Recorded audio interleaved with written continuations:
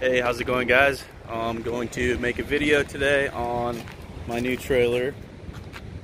It's a 1955 Jayco Hummingbird. I know it's not a car, but I figure some of you guys might be interested. So here it is. Okay, so yes, 1955. Uh, pretty much in original condition. I don't believe that this is the original paint job, but I have no way of really knowing because it's pretty rare and there's only four other people that I know of that have a trailer like this. Um, the outside's in pretty decent shape. I had to replace a broken light. Um, but um, yeah she's got some character definitely.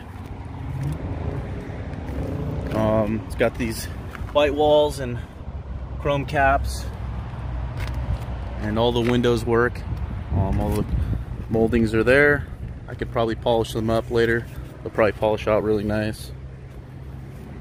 Just picked up this pretty cool little chair to put here and um, this actually lifts up and uh, check this out.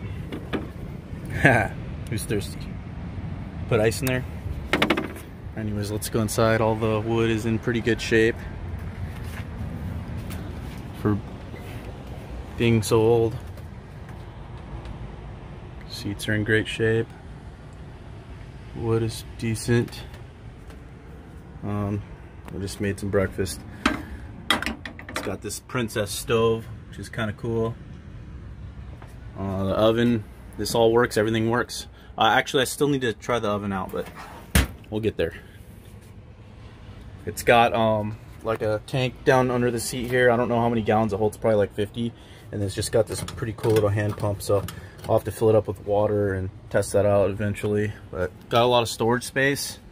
Um, two people can sleep here comfortably.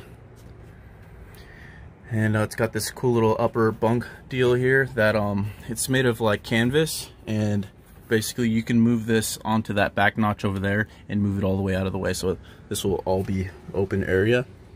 And then over here we got an ice box. It's not a refrigerator, so just just put some ice in here and it's been keeping everything cold. When it drains, when the ice melts, it goes down to a, a pipe down in the bottom and drains out to the bottom of the trailer.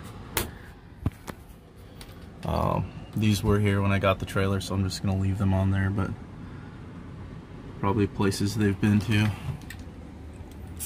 Previous owners took pretty good care of this. Oh, cool. You can hang clothing from right here. Um, what else? yeah, lots of storage though. And um, all these windows, they, they open like that. Got four windows in the front. My mom made me these. She sewed these curtains. So thank you, Mom, for that. And uh, she also made this cool pillow for me to go with it. And uh, so thank you very much, Mom. Anyways, here's the 1955 Jayco Hummingbird and I'm falling in love with her.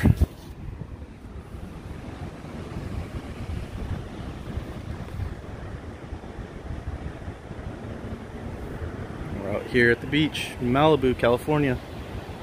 Have a couple friends coming over in a little bit. Anyways, hope you guys enjoyed that. I'll see you next time.